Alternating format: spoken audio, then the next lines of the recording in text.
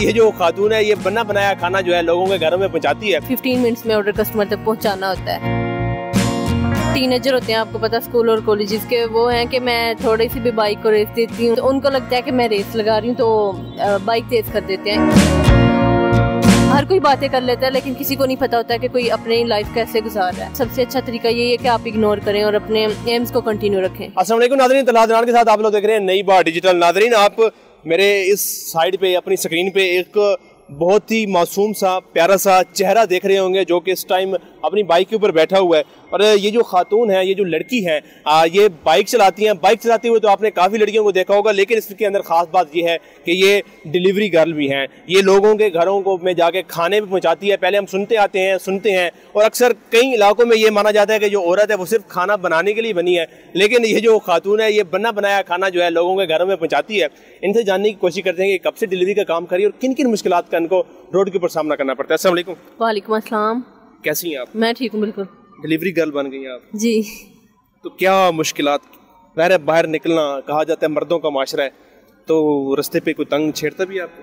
मतलब लोग ज़्यादातर जो होते हैं टीनेजर होते हैं आपको पता स्कूल और कॉलेजेस के वो हैं कि मैं थोड़ी सी भी बाइक को रेस देती हूँ ना। मतलब मेरा तो काम ही है कि मैंने मैक्सिमम जो है ना फिफ्टीन मिनट्स में ऑर्डर कस्टमर तक पहुंचाना होता है अच्छा। तो इस वजह से तो उनको लगता है कि मैं रेस लगा रही हूँ तो बाइक तेज़ कर देते हैं इस तरह के मसाइल होते हैं ये और मैं स्टार्टिंग में मुझे इन चीज़ों से मसला हुआ था लेकिन अब तो मैं हैबिचुअल हो जाती हूँ और मुझे कॉन्फिडेंस रहता है मतलब इतनी मैं परेशान नहीं होती अब इनको अच्छा, कभी बाइक चलाते हुए जहन में धूम का म्यूज़िक चला नहीं। अब मैं रात, बहुत तेज़ ड्राइविंग नहीं करती, मुझे खुद भी बहुत डर लगता है, अभी भी डर लगता है, क्योंकि मुझे पता है कि मुझ पर बहुत ज़्यादा रिस्पॉन्सिबिलिटीज़ हैं जिनको मैंने कवर करना है। तो मैं बहुत एहतियात से बाइक ड्राइव करती हूँ रूल्स रेगुलेशन का ख्याल रखते हुए। अच्छा बाइक चलाते हुए ज़ाहिर जैसे आपने बताया कि लड़कों को कोशिश होती है कि शायद आप वो समझते हैं कि रेस लगा रही है तो तेज़ करते हैं। ज़ाहिर आप उनको रिस्पॉन्स नहीं देती। तो रिस्पॉन्स उन लेने के लिए आपसे तो कभी ऐसा भी हो कि आपके आगे बाइक ले आए हो? ऐसा मेन रोड पे कभी ऐसा नहीं हुआ कि बाइक आगे खड़ी कर दी हो या ले आए हो? आगे से मरा दे आगे सांप की तरह चलाना बिल्कुल ऐसा तो करते हैं ऐसा करते हैं सम टाइम तो ऐसे भी हुआ है कि वो बाइक आगे रखते हैं मुझे मतलब कि आगे आगे रखते हैं। तो क्रॉस नहीं करने देते। हाँ तो फिर मैं इस, सबसे अच्छा वे मैं कहती हूँ यही है कि आप इग्नोर करें क्योंकि जहाँ पे लोगों को खुद नहीं ना ख्याल हम किस के एक औरत है फीमेल है वो काम कर रही है तो ओबियसली उससे ज़रूरत है तो कर रही है।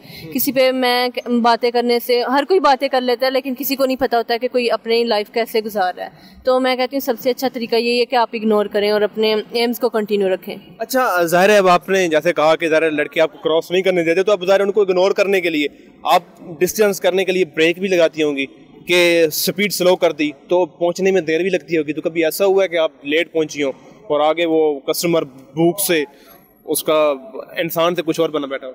एक तो अगर मैं कभी लेट हो जाऊँ तो मैं कस्टमर को कॉल कर देती होती हूँ कि मैम सर ये मुझे मैक्सिमम इतना टाइम लगेगा। ट्रैफ़िक इश्यूज़ हैं। तो और अब तो मुझे सारे रास्तों का ऑलमोस्ट पता चल गया क्योंकि छः माह हो गया। स्टार्टिंग में बहुत इशू होता था ड्रेस ढूंढते। अच्छी वाली ये प्रेशर वाली जॉब है। आपने फ़ूड गर्म पहुँचाना होता है। अगर कस्टमर वेरीफाई करें ठंडा फ़ूड होता है तो भी वो कहते हैं कि आपको नहीं पता कि आपने गर्म फ़ूड लेके आना था। ये ये सारे मसाइल तो होते हैं लेकिन उनको टैकल करना आना चाहिए। सबसे यही बात है कि हम एक्सक्यूज़ कर लेती हूँ मैं तो। हमेशा कहती हूँ कि आपको फ़ूड चेंज करवा देती हूँ एक्सक्यूज़ करती हैं कि हाँ ये मेरी मिस्टेक है। मतलब कभी किसी ने कोई रफ बिहेवियर किसी ने कोई डांटा हो कभी आपको? एक दफ़ा एक फीमेल ने रफ बिहेवियर किया था मेरे मेरे हम्म। साथ और एक दफ़ा उसने किया था उसके बाद आज तक मैंने वो ऑर्डर नहीं किया दोबारा। अच्छा आपको हम मेरा हमारी तमाम टीम की जानब से आपको हम सलाम भी पेश करते हैं। ये तो इमोशनल बातें हो गई। अब ज़ाहिर है बाइक चलाने की बात करते हैं। कभी ऐसा हुआ है कि ब्रेक मारने की जगह आपने चीख मार दी हाँ? ये तो अब अब तक हो जाता है ऐसे कि ना आगे से भी अगर गाड़ी आ रही हो तो सिचुएशन ऐसी हो क्रिटिकल सिचुएशन हो जाए तो मैं मेरी अक्सर चीख निकल जाती है अब भी ऐसे होता है। अच्छा अक्सर अक्सर ये देखते देखा जाता है ये सुनना भी जाता है अक्सर सोशल मीडिया पे ये चीज़ें वायरल भी होती हैं कि डिलीवरी बॉय या कोई भी जा रहा हो वो रस्ते पे खाना चख भी रहा होता है। तो आपने भी कभी टेस्ट करके दिए नहीं मैंने कभी ऐसा नहीं किया। समटाइम ऐसा होता है कि कस्टमर्स कह देते हैं ना कि मैं अगर कह दूँ कि ये फ़ूड चेंज कर लें तो आप ये फ़ूड खा खा लें या फ़ूड कुछ तो तंजिया तरीके से भी कहते हैं ना हम्म। कि आप फ़ूड ठंडा लेके आई आप ये खा सकती हैं आप ये खा लेंगी तो आप मेरे लिए ये ऐसा लेके आई हूँ ऐसा भी होता है लेकिन मैंने कभी ऐसा एक तो हमारा जो फ़ूड होता है ना हैं अब घर में ओवन नहीं है। फ़ूड लोग पैक होता है और मैंने कभी ऐसा नहीं किया क्योंकि हमें खाना मिलता है। अच्छा आप कहीं उन खातन के लिए मैं अक्सर अपने इस तरह कोई भी प्रोग्राम हो तो उसके अंदर कहता हूँ कि आप जो हैं मतलब जो भी उस जगह पे खड़ी होती है आपकी जगह पे, कि आप उन खवतिन के लिए मिसाल हैं जो घर से बाहर निकल के कुछ करना चाहती हैं, लेकिन वो घबरा रही होती हैं कि पता नहीं बाहर निकलेंगे, हमें कोई शायद हुआ बैठा खा जाएगा। लेकिन आप, माशाल्लाह, उनके लिए मिसाल हैं तो कुछ कहना चाहेंगे उनको?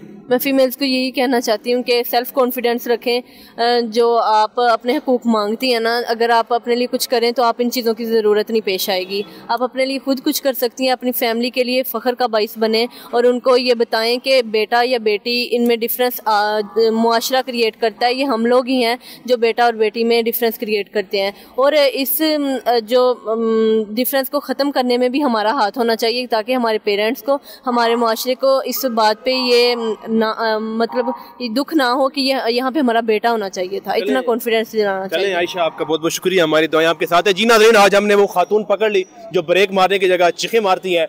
ये तो एक मजाया पहलू हो गया। दूसरा पहलू जो हम आपको दिखाना चाह रहे थे और आपको पसंद भी आया होगा कि माशाल्लाह जो पाकिस्तान है आ, वो हर तरह से महफूज है। पाकिस्तान की जो बेटियाँ हैं बहनें हैं वो बाहर निकल के अपना कोई भी काम करना चाहे तो आज़ादी के साथ कर सकती हैं। आप अपनी राय कमेंट सेक्शन में दीजिएगा। मुझे दीजिए इजाज़त। अल्लाह ने के बाद